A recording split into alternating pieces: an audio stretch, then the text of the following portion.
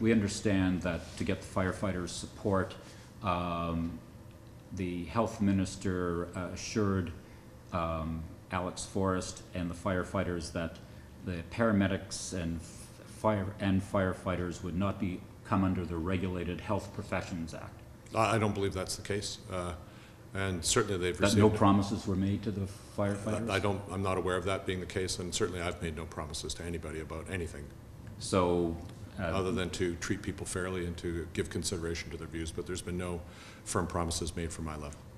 so you've not promised the firefighters anything for their support? Uh, no, other than to treat people fairly, like we always do. But what about one of your ministers? Can you say that no, none of your ministers offered anything to the firefighters? I'm not, I'm not aware of that having occurred, uh, but at the end of the day, uh, any decisions made at the leadership convention were made by myself.